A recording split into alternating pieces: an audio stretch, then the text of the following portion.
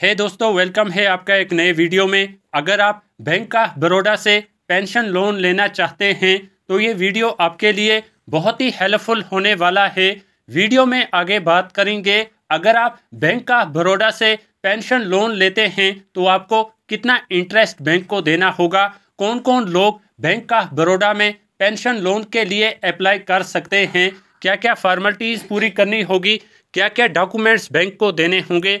But उससे पहले video को लाइक कर देना चैनल को सब्सक्राइब कर देना, क्योंकि इस चैनल पर आपको सभी बैंकों के वीडियो, गवर्नमेंट स्कीम के वीडियो सबसे पहले मिल जाते हैं। आइए वीडियो शुरू करते हैं और बात करते हैं। अगर आप आज के टाइम में बैंक ऑफ़ बड़ौदा से पेंशन लोन लेते हैं तो आपको मिनिमम 9.35 परसेंट का इंटरेस्ट बैंक को देना होगा। बैंक से आप मिनिमम पच्चीस हज़ार का पेंशन लोन ले सकते हैं।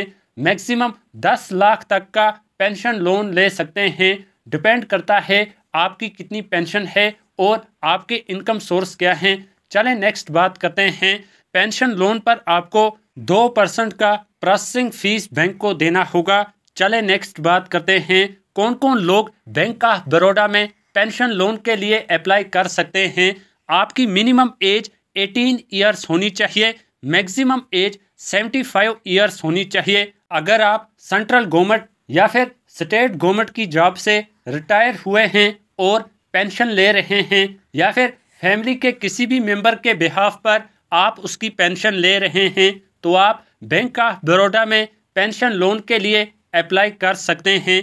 अगर आप बैंक की दी हुई सारी फॉर्मेलिटीज़ पूरी करते हैं तो आपका लोन अप्रूव कर दिया जाएगा।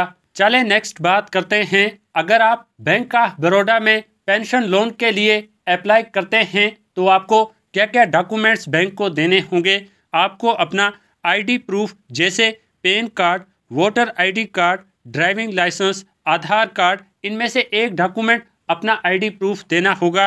साथ में रेजिडेंट प्रूफ साथ में income proof bank account statement salary slip वगैरह डॉक्यूमेंट्स बैंक को देने होंगे। याद रहे, अगर आप बैंक की दी हुई सारी फॉर्मेलिटीज़ पूरी करते हैं और आपका पेंशन लोन अप्रूव कर दिया जाता है तो आपको बैंक की तरफ़ से मैक्सिमम पाँच सालों का टाइम दिया जाता है ताकि आप अपना लोन बैंक को वापस कर सकें।